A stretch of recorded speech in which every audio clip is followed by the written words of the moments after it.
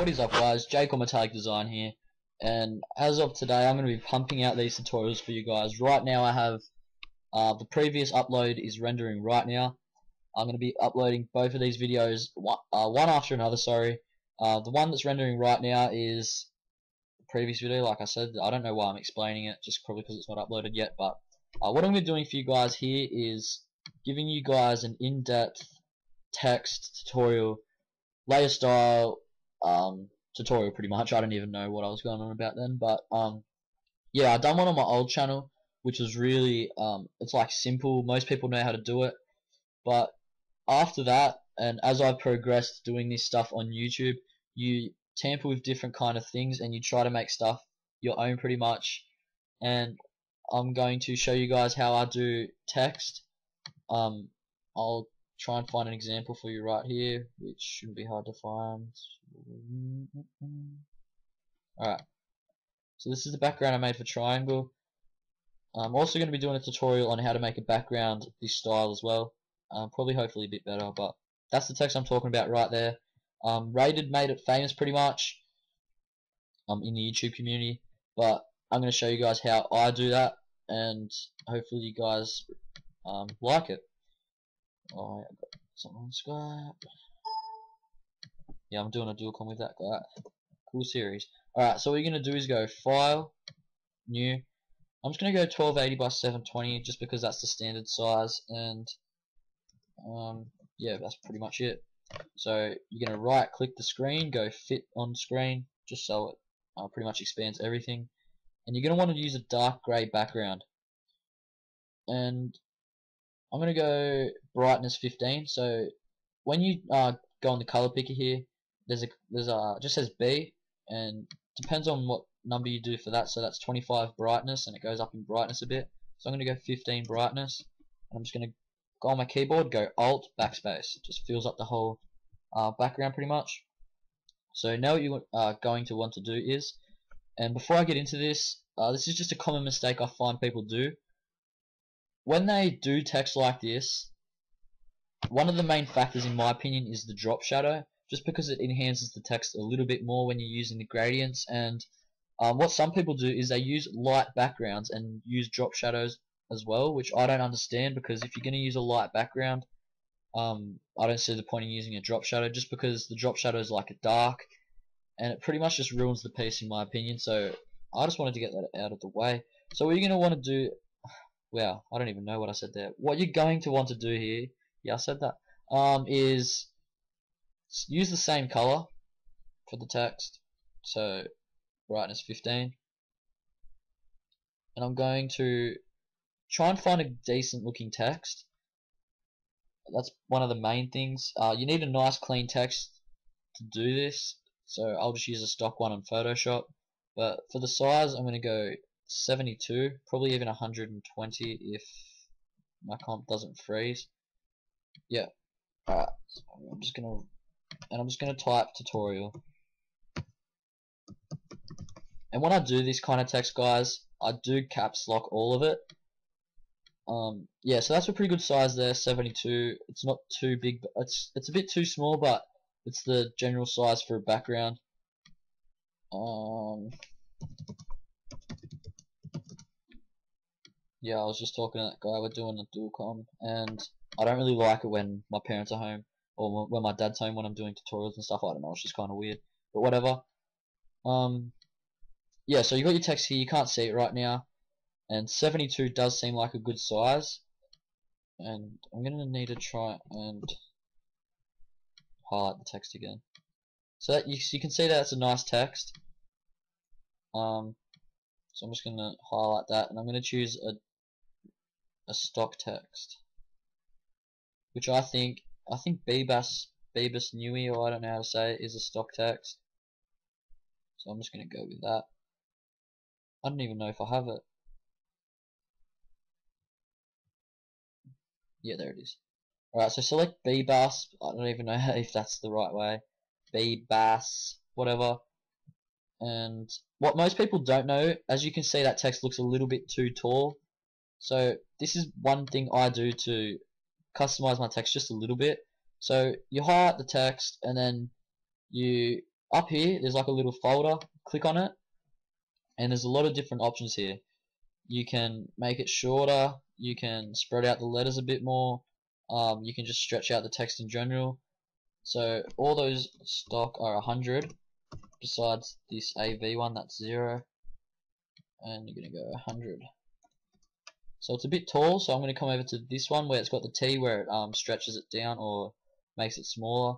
So I'm just going to do this here so it just looks a bit a bit shorter I don't know. So it just looks a bit better because that that at the moment looks horrible.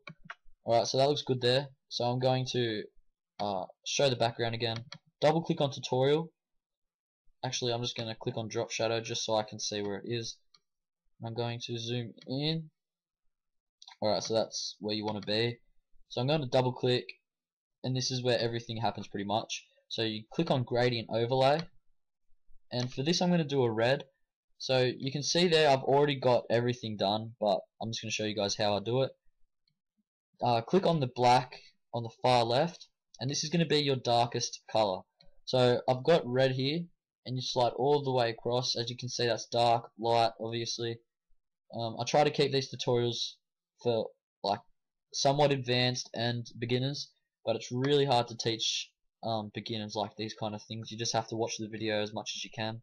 So I'm going to slide all the way across and on, where it says B you're going to want to put that at 20 now I'm going to make another gradient just by clicking um, under the gradient bar pretty much and put that to on location just here uh, put that at 35 on location and then click on that. I'm going to put the brightness to 40 now I'm going to go to 65 and I'm going to put the brightness up just a little bit more to 60 so the location for that was 65 and for this one you're going to want to go to around um, 80 so I'm just going to go 80 there. And as you can see it's got a nice gradient dark up to light and it's not too light at the top so um, you can save these gradients just by clicking on new. So just click that. I've already got it saved there. I think it's a bit different. Yeah it's just a bit lighter but this is alright guys. So um, yeah that should be alright if you didn't get it just go back and watch it again. Uh, click OK. Now you're going to go to drop shadow. Uh, click on drop shadow again just so everything comes up. Change the blend mode to normal. Opacity 100 turn off use global light. Put the distance to 0 and the size and spread is going to depend on the size of the text. Um, but for this I usually go 5 size and spread 10 just um, just so it gives a, a nice definition behind. At the moment it doesn't look too good but after this last step and I might try a couple more different things if I feel the need to. So what you're going to do next is click on inner glow. Um, change the blend mode to normal. Just for now it's going to change in a second though put the opacity to 100 and click on the uh, cream color here and go up to white. Change the size to 2 maybe even 1 alright yeah put it at 1 sorry and change the blend mode to overlay. So that looks that looks pretty nice right there.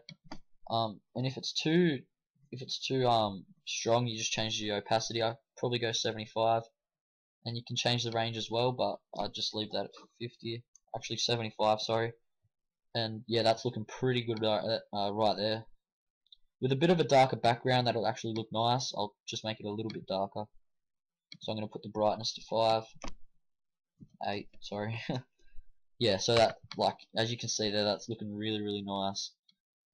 Um, so that's 9 minutes that's actually alright so Another thing I like to do sometimes just if I want to vary it up a little bit, I come over to bevel and emboss and click on that. Turn off use global light, put the angle at 90.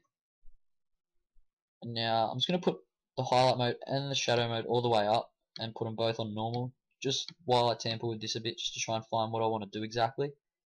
So you're going to put the depth to about 250 and you move the size you move the size up until you see that there's like a nice glow going across the text.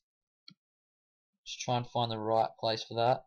So, um, I'm actually going to put the bottom angle to about 15. Maybe see it's all trial and error pretty much with this kind of stuff. So yeah, you're gonna put the uh, depth to a thousand, and you put the soften all the way up, and you just muck around with the sizes. So for me, 90 looks alright, and soften 16, depth 1000. Put shadow mode all the way down. Actually, leave it up all the way. Put highlight mode and change that to overlay, and then change the opacity to 25. And then with shadow mode, change the opacity to about 5. So if you click on that, you can see it doesn't make too much difference, just gives it a bit more definition, in my opinion. But um, I'm just going to show you guys how you can change the color quickly. What you do is you click on gradient overlay, because that's pretty much done now. I'm just going to show you how to do this, and click on the first far left color, and then all you have to do is slide the bar here. And as you can see on the top there, the H is on zero. So if you want to do a like the color I'm gonna just go for a blue so if you go there you see 210 is pretty much a good color for blue. So you go 210 click on the next one. On the top you go 210 on the next one click on that go 210 and then on the last one do the exact same thing obviously 210 so um, yeah, that's a really good way to do that, I figured. And once you add some color correction on the end and stuff, it really does uh, bring out a nice look. So hopefully you guys enjoyed this, and if you did, please like the video. It does mean a lot. And um, I don't even know if that's this tutorial right. I'm pretty sure it does, but just looked wrong. Yep. Um. So yeah, thanks for watching, guys. Talk to you later. Uh, leave a like if you liked. I'm pretty sure I already said that. Comment asking or um, requesting like new tutorials. That helps me a lot. So I'll talk to you guys later. Thanks for watching and sup.